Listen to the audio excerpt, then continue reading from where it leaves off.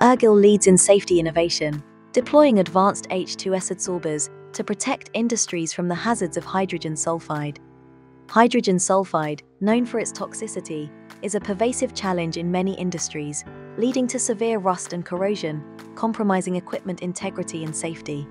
In industrial environments, the H2S adsorber plays a crucial role, effectively removing toxic hydrogen sulfide to ensure safety and process efficiency. The first stage of the H2S adsorber involves gas entering the unit, where it encounters a layer of advanced adsorbent material designed to selectively capture hydrogen sulfide molecules from the stream, initiating the purification process. In the second stage, the gas undergoes thorough cleaning as it flows through multiple adsorbents, including activated carbon, ferric oxide, FeEDTA, and zeolite. The H2S adsorber system operates with full automation, utilizing advanced controls to seamlessly manage the gas purification process across all stages.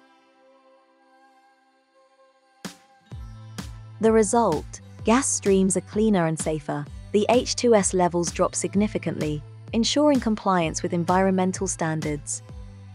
The H2S adsorber is a key player in industries ranging from oil and gas to wastewater treatment.